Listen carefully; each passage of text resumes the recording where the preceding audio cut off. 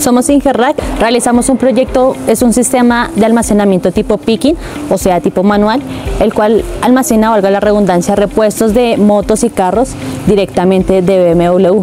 También repuestos como las motos KTM y bueno, entre otras. El módulo eh, está conformado por unas medidas y dimensiones de 240 de largo. Las vigas soportan 250 kilogramos, igual que sus tendidos galvanizados en marco F40 que corresponde directamente al tipo picking.